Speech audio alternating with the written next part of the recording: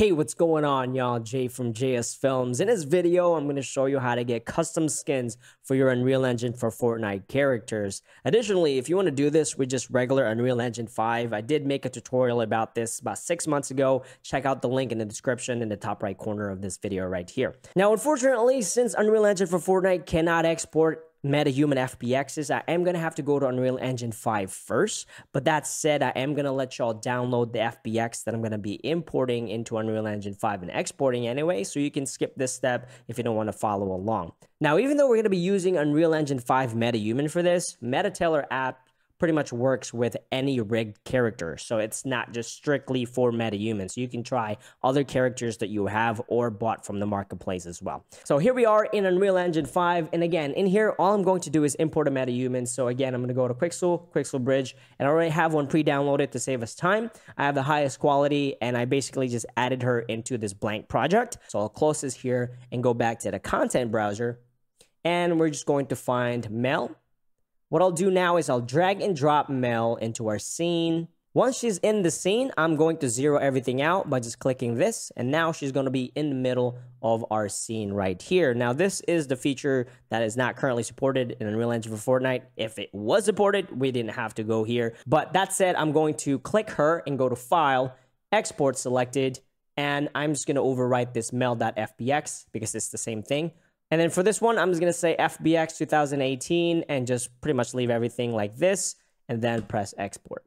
So that said, let's go ahead and open up MetaTailor. So I have MetaTailor right here and I just double click the launcher exe and this window is going to pop up. I already checked for updates, so we're good to go. Press play. And once the MetaHuman app is open, I'm going to go to the top right corner to create a new project and I'll just title this Melly Confirm. Now, once the MetaTailor app is open, I'm going to go to the top left corner, click on Import, Avatar, and we're going to go to that folder where we exported that FBX. Here it is, and I will just import that, click on Open. And as you can see, this is the MetaHuman that we exported out of Unreal Engine 5. So I'm going to leave everything by default and click Next in the bottom right corner. This is going to automatically put some landmarks on the actual character itself, but I'm just going to double check it. Because sometimes, like this nose tip right here, I definitely want to fix that. If you press the middle mouse button, you can actually drag it around. And then the right click, you can spin it around and rotate it. So I'm just going to put the nose tip where the nose tip needs to go. And additionally, this skull crown is a little bit off. So I'll just kind of lift this up. And again, make sure you're kind of going over in 360 around the 3D model because it's 3D. So even though it looks like it's lined up on one angle, it might not be in the other. So just make sure you're double checking. It is a 3D model. All right, everything looks pretty good. And I'll just say next step in the bottom right corner once again. And just like that, we just imported that avatar inside MetaTailor apps. So here I'm going to select Mel to load her up and I'm going to click on close. Now, the close I'm going to be using right now, as far as I was told, it's going to be available in the content browser for pro users later down the road. But since it's not officially out yet, I'm going to have to import it one by one. But honestly, importing clothes in here is super simple. So that said, let's go ahead and import our outfit. I'm going to go back to the top left corner and click on import. This time we're going to be doing clothing accessory. Just click once and I'm going to go to my downloads file and go to the actual outfits. Now, instead of FBX, the files I'm going to be importing is an MTA file. So I'm just going to select MTA here. And let's start importing these right here. So let's go select our plate carrier. I'll open that. Awesome. I'm going to select another one. Again, just use one click. Import that. I'll import the pants. All right, so now we have a shirt, pant, boot, and vest. Now, one of the cool things about the MetaTailor app is I can actually reorder the clothes that this character is wearing. So as far as the boot goes, I would probably want that all the way to the end.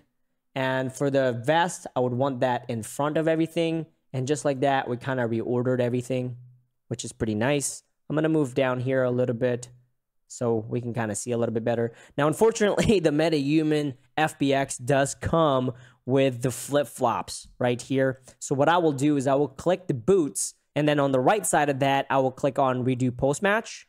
I'm going to check knees and elbows. And I'm just going to go to the foot area and select that. I'm just going to try and tuck that feet from the MetaHuman in. so that it's not sticking out. All right, I'll press confirm. Now, another cool tool in MetaTailor app is actually being able to shrink wrap brush and shrink wrap your outfit if it doesn't fit properly. So if you want this sleeve to be a little bit tighter, I'm going to click on this sleeve. And under brushes, I can select on shrink wrap and I'm just going to say sculpt original.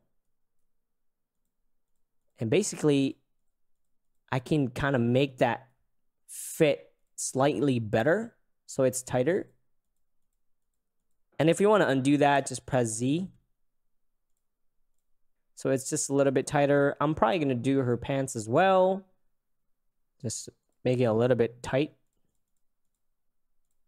Now, again, you can spend a lot more time in here if you want. Now, as you can see right here, you can kind of see her belly. You probably don't want that. So I'm going to click on the shirt right here. And I'm going to go to a 3 by 3 on the right side. And I'll select this box at the bottom and just kind of stretch it down. And then press confirm. That looks a little bit better. Might have done it too much. Okay, confirm that. All right, that's looking pretty darn good. All right, our character is starting to look really, really good. But what I'm going to do is just work on this a little bit more. And then after that, we're going to export it to Unreal Engine for Fortnite.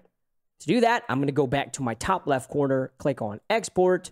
And under the export options, the only thing I'm going to change here, honestly, is the avatar. I'm going to uncheck that.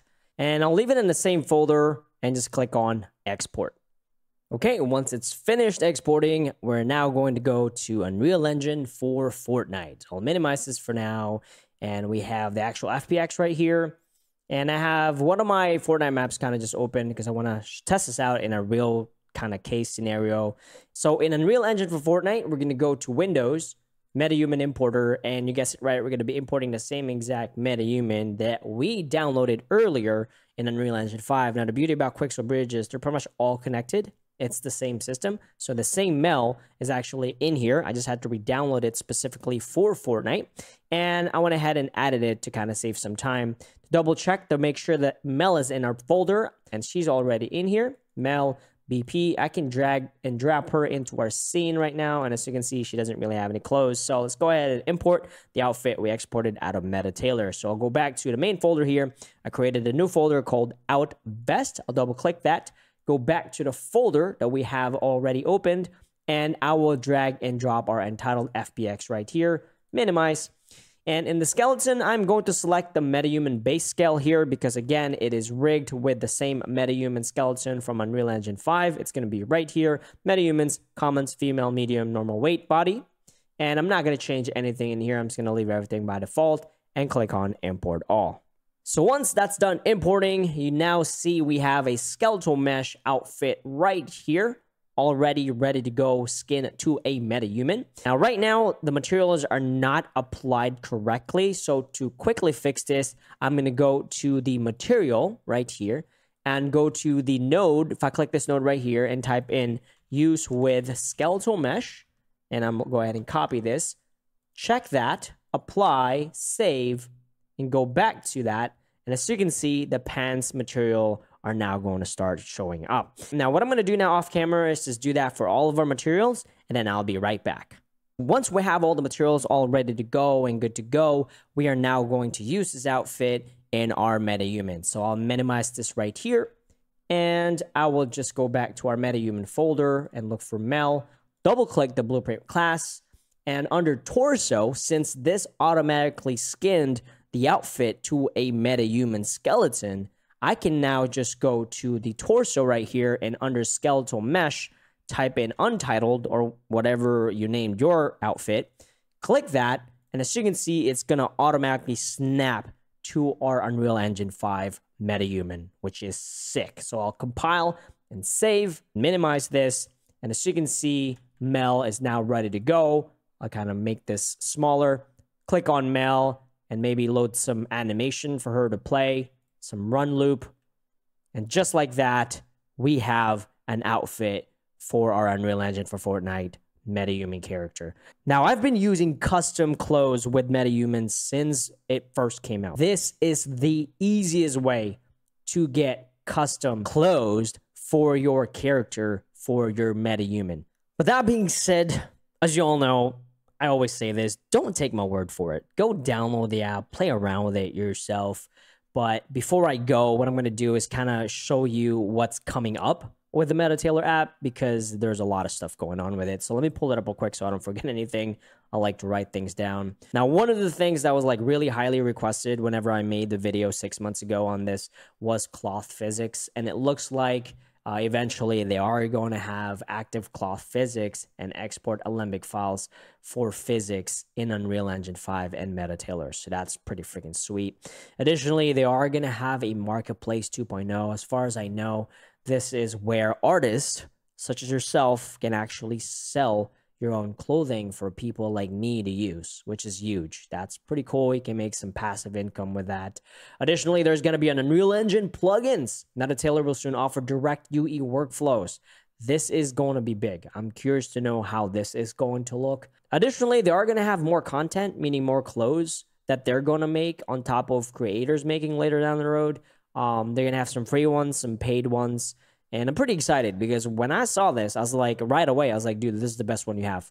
you know, like this could actually be used in a cinematic format because the way the textures are, it just looks really darn good. And lastly, if you're a content creator who are interested in MetaTailor, go reach out to them because they're looking for ambassadors to kind of make content about this MetaTailor app right here. But that's pretty much it. After all said and done, thank you all for watching. I hope you all learned something new today. Again, check the description for all the links. Uh, this is Unreal Engine for Fortnite Meta MetaTailor app. Till then, I'll see y'all next one. Peace out.